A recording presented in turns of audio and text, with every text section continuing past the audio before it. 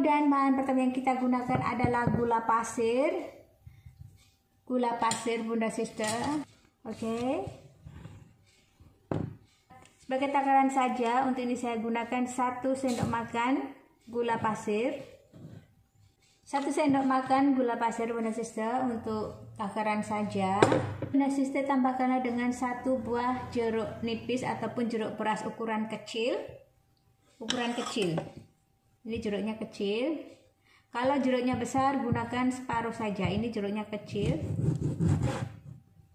Bunda Sisi bisa menggunakan jeruk peras ataupun jeruk nipis ataupun lemon. Ini saya gunakan jeruk peras.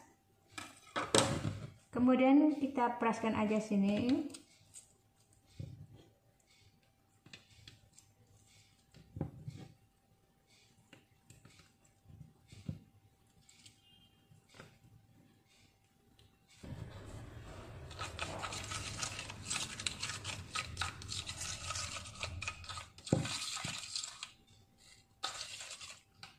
Setelah ini tambahkan dengan pencuci piring. Untuk ini saya gunakan Mama Lemon yang charcoal yang warna hitam.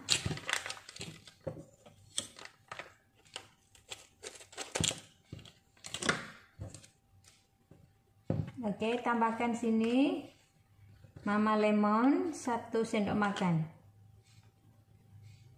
Oke, satu sendok makan, tambahkan aja sini. Kemudian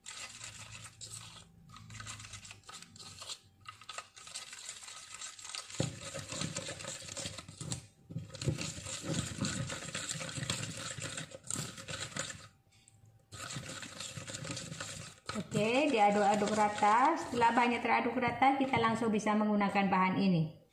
Bunda Siti bisa menggunakan bahan ini untuk mengatasi kulit yang sangat hitam, gelap, dekil, dan berdaki. Untuk cara memakainya, gunakan bahan ini untuk mencuci kulit yang hitam dan berdaki.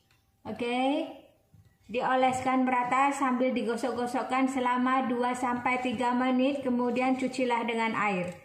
Jadi gunakan untuk mencuci kulit yang hitam, dekil dan berdaki seperti kulit leher, kulit ketiak, kulit selangkan dan kulit badan lainnya yang hitam, dekil dan berdaki supaya menjadi putih dan bersih. Bunda Sister bisa melakukan perawatan ini setiap hari, setiap hari atau setidaknya tiga kali dalam seminggu secara rutin agar kulit yang hitam, dekil, berdaki menjadi lebih putih, cerah dan glowing. Makanya seperti ini aja. Ini misalnya kulit tangan saya yang hitam dekil berdaki ingin saya cerahkan, ingin saya glowingkan.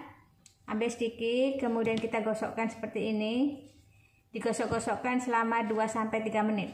Digosok 2-3 menit. Ini akan menanggalkan sel kulit mati, membersihkan daki-daki, mencerahkan kulit yang gelap, dan membersihkan kulit yang dekil. Oke. Okay? Kulit hitam, kusam, dekil, berdaki semuanya. Gosokkan aja selama 2-3 menit, kemudian cucilah dengan air. Jadi seperti ini aja. Digosok-gosok 2-3 menit, kemudian langsung bisa dicuci dengan air. Oke, dan jangan lupa Bunda Siti lakukanlah perawatan ini setiap hari, setiap pagi ataupun setiap sore sebelum mandi untuk mendapatkan kulit yang putih, bersih, dan glowing. Dalam sekali perawatan aja, kulit yang dekil hitam berdaki akan menjadi lebih putih, lebih cerah, dan glowing.